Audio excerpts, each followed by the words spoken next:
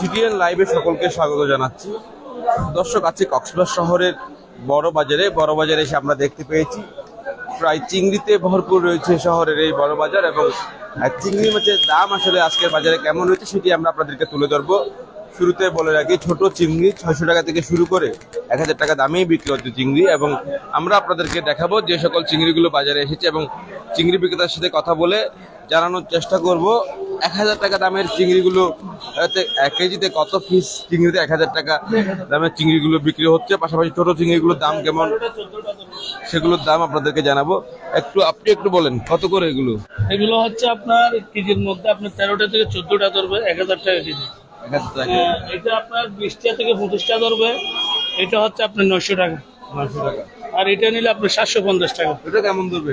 ওটা কেজির মধ্যে পঁয়ত্রিশটা ধরবে পঁয়ত্রিশটা। আর ছোট যে চিংড়িটা রয়েছে ওটা কত করে? ওটা ছশো টাকা। ছয়শো টাকা।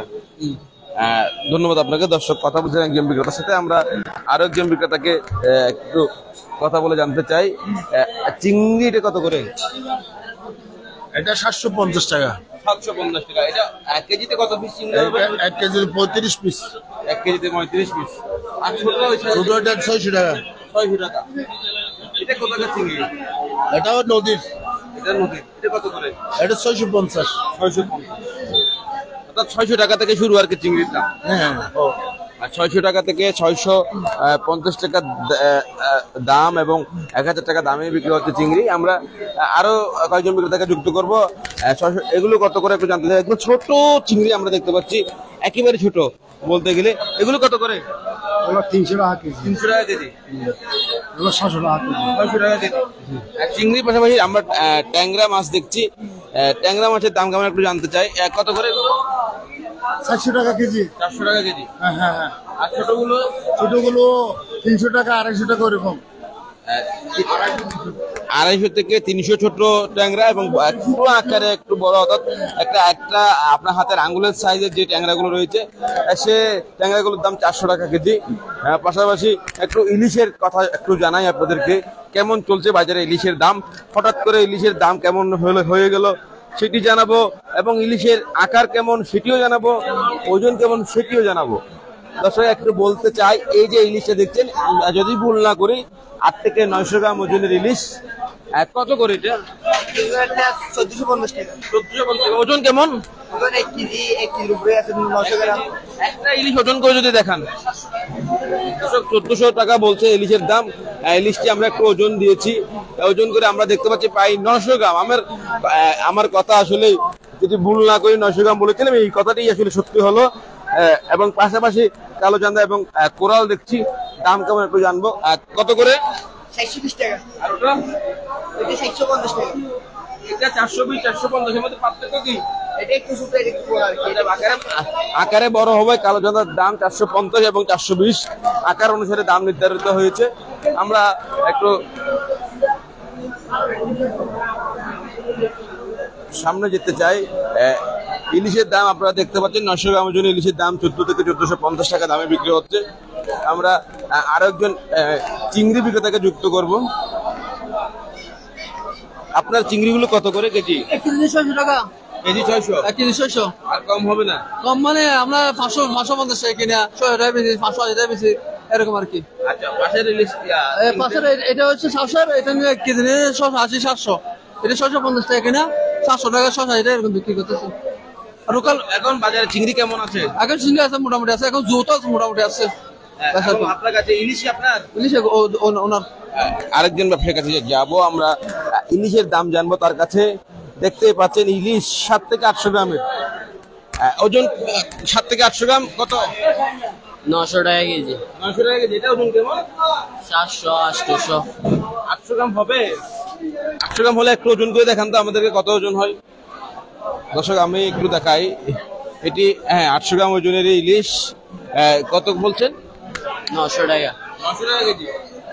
হ্যাঁ, এখানে আটশো গ্রাম ওজন নশো টাকা কেজিতে বিক্রি হচ্ছে। তার কাছে আমরা দেখতে পাচ্ছি একটা বড় আকারের কোরাল মাছ। প্রায় একটি কোরাল দশ কেজির মতো হবে।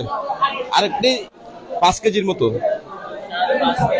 চার থেকে পাঁচ কেজি একটি দশ কেজির মতো। দর্শক দেখতে পাচ্ছেন দুটি কোরাল মিলে চোদ্দ কেজি। কত করে? এক হাজার টাকা কেজি। এক হাজার টাকা কেজি। দুটা মাছ ক্রয় করতে গেলে কত লাগবে? হ্যাঁ? এই দুটি মাছ ক্রয় করতে কত লাগতে পারে? তাই কে দুটো মাছ একসাথে নিতে গেলে কত টাকা লাগবে? চোদ্দ পনেরো হাজার টাকা লাগবে। দর্শক দেখতেই পাচ্ছেন চোদ্দ থেকে পনেরো হাজার টাকা। এগুলো আসলে অনেক টাকা। সাধারণ মানুষের ক্রয় ক্ষমতার বাইরে। দুইটা কোরাল ক্রয় করতে চোদ্দ থেকে পনেরো হাজার টাকা লাগবে। কারণ দুটি কোরালের ওজন চোদ্দ থেকে পনেরো কেজি হবে। কিন্তু এখন যে কোরালটি দেখছেন এটির আসলে ওজন কেমন হবে একটু জানব এবং দামটা জানব। কত করে? পাঁচশো টাকা করে। পাঁচশো টাকা করে ওজন কেমন এগুলো? তিন কেজি সাত তিন কেজি আড়াই কেজি। সুতরাং এক কেজি হবে না। এক কেজি। কত? চারশো পঞ্চাশ টাকা। চারশো পঞ্চাশ। আর এটা? পাঁচশো টাকা। পাঁচশো টাকা কেজি। এটা যদি তিন কেজি হয় তাহলে এটার দাম দাঁড়াবে দর্শক দেড় হাজার টাকা। ওটা একটা কোরাল ক্রয় করতে গেলে আপনার গুনতে হবে দেড় হাজার টাকা। এবং ইলিশ যদি ক্রয় করতে যান তাহলে গুনতে হবে একটা ইলিশে দেড় হাজার টাকা। ঠিক বলছি কিনা? কত করে বিক্রি করছেন ইলিশ? দেড় হাজার। এবং ওজন কেমন? এক কেজি একশো এক কেজি এরকম। হ্যাঁ, ধন্যবাদ আপনাকে। দর্শক কথা বলছিলাম আরেকজন বিক্রেতা হয়তো আমরা একটু আরেকজন বিক্রেতাকে একটু যুক্ত করতে চাই। তার কাছে আমরা দেখতে পাচ্ছি কেজির কাছাকাছি কোরাল এবং পাঁচ থেকে ছয়শো গ্রাম ওজনের ইলিশ। দাম কেমন? নশো টাকা। নয়শো টাকা। ওজন কেমন? সাতশো আটশো। সাতশো আটশো হবে না? আটশো এগারোশো টাকা। আটশো টাকা এগারোশো টাকা। সাতশো টাকা। তোমার পিস আছে তিনশো টাকা। তিনশো টাকা সোনা মাছের দামও কমে নাই এখনও। তিনশো টাকা হলে কম না। এবং জানা মাছ? আছে মাছ। মাছ কত করে? চান্দা মাছ সাতশো টাকা কালো চান্দা সাতশো টাকা। হ্যাঁ, চান্দা মাছ সাতশো এবং কালো চান্দা বিক্রি হচ্ছে চারশো টাকা কেজি দরে বাজারে। এবং একটি গোলার বেতকি ছশো পঞ্চাশ টাকা। ওটা নিলে আমরা প্রায় বাইশশো টাকা মতো আসবে। এই মাছটি ক্রয় করতে লাগবে। হ্যাঁ? দুই হাজার টাকার উপরে লাগবে। হ্যাঁ হ্যাঁ বিরাট মাছ এক সপ্তাহ খেতে পারবে যারা আপনার মতো ফ্যামিলি হলে এক সপ্তাহ খেতে পারবে।